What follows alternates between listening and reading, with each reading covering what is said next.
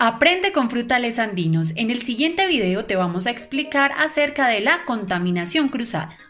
Este es un video del proyecto Productividad y Competitividad Frutícola Andina, financiado por Fontagro, cuyo propósito es contribuir al crecimiento sostenible de las cadenas frutícolas del aguacate, las pasifloráceas y los cítricos en Colombia, Ecuador y Perú. La contaminación cruzada es la transferencia de sustancias peligrosas o microorganismos a un alimento por medio de vehículos como las manos, superficies, equipos y utensilios contaminados o directamente de un alimento crudo a uno cocido o listo para consumir. La contaminación cruzada ocurre por diferentes razones. Las manos del manipulador de alimentos no están limpias. Se realizan prácticas inadecuadas de almacenamiento de los alimentos. Se utilizan alimentos o ingredientes contaminados. Los utensilios, equipos y las superficies de preparación de alimentos no se limpian y desinfectan después de terminar un proceso. Se usa hielo contaminado. Cuando insectos o roedores entran en contacto con los alimentos cuando productos crudos entran en contacto con productos cocidos o listos para comer. Hay contaminación del alimento por parte de los consumidores finales. Hay contaminación desde áreas sucias a limpias. Existen en total tres tipos de contaminación cruzada. De alimento a alimento, de manos al alimento y de superficies, equipos y utensilios al alimento. La primera contaminación es de alimento a alimento. Este tipo de contaminación se conoce como contaminación directa y se da cuando un alimento crudo o sin desinfectar, que por lo general contiene muchos microorganismos, se pone en contacto directo con un alimento que ya se encuentra cocido o listo para ser consumido. La segunda contaminación es de manos al alimento.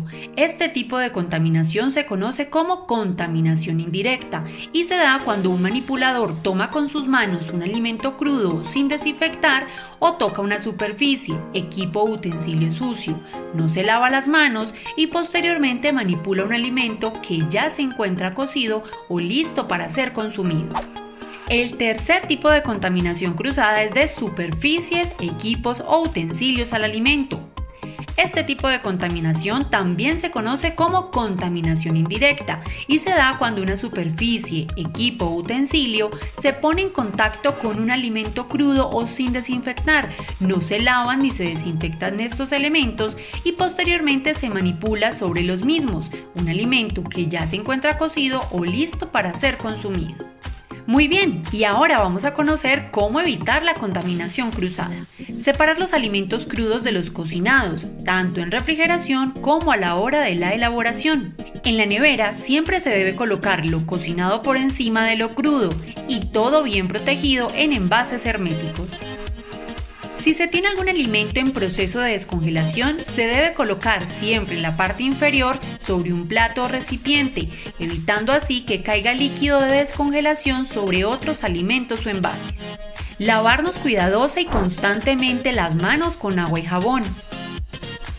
Asegurar que todos los utensilios, equipos y superficies que se van a utilizar estén perfectamente limpios y desinfectados.